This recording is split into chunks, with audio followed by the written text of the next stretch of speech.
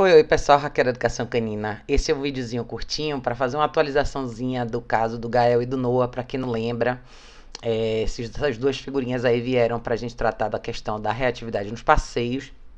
E hoje vocês estão vendo como os meninos estão aí, tá? Esse vídeo é da última consulta que eu fiz com com o Elder e os meninos, e vocês vão ver que eu tô só guiando o Elder um pouquinho na questão da postura e de como se comportar um pouco em relação à guia.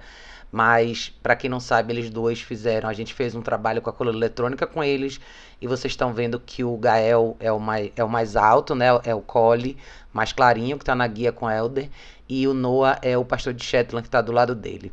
O Noah tá só com a coluna eletrônica, tá? Ele tá sem a guia. E o Gael tá com a coluna eletrônica e com a guia. Na realidade, gente, o caso mais extremo aí era justamente o Noah, tá? O Noah é que tinha uma reatividade bem maior na guia é, durante os passeios. Eu tô mostrando para vocês aí uma coisa que é alcançável, tá?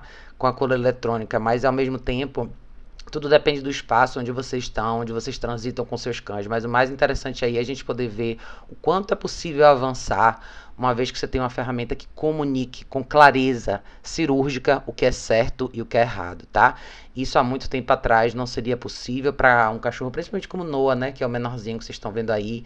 Mas veja a ligação que ele tem com Elder, veja como tudo ficou muito mais fácil, muito mais tranquilo nessa esfera com eles, né? Para vocês verem como é importante a gente saber aplicar a correção do jeito certo e da forma correta, para que o cachorro realmente comece a curtir e de verdade aproveitar os momentos que ele tem de, de convívio social, né? Essa é uma pracinha lá perto da casa dele, eles caminham por aí sempre, mas assim, infinitamente melhor. É uma coisa muito bacana de ver a dedicação que o Elder teve com eles nesse processo, praticando. É como eu falo para vocês sempre, não precisa de 10 horas por dia para ter um cachorro bem educado e bem comportado. É simplesmente uma questão da gente saber fazer o que é certo nos momentos que a gente tem, com qualidade, né?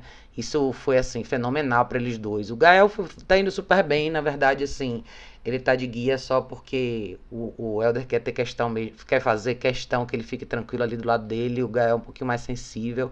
E esse pedacinho aí Daí é uma parte interessante, porque parou uma senhora do bairro para conversar com a Elder e ela tava com a cachorrinha.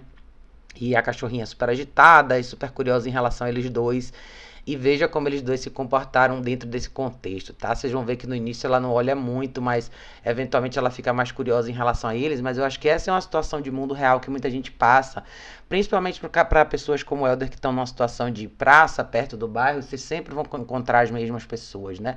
E tem muita gente com cachorro que não tem muito essa noção. Então, na realidade aí o que você pede é esse grau de tolerância dos seus cachorros, tá? Mesmo estando tão próximo o que eles têm que fazer é deitar e relaxar e esperar você ter uma conversa. Acho que esse é um ponto super importante em relação ao convívio social com cães, tá? Às vezes a gente esquece, a gente acaba se isolando por conta dos nossos cachorros, quando na realidade é só uma questão da gente deixar claro o que a gente quer com eles no universo social, tá bom? Mas é isso, pessoal.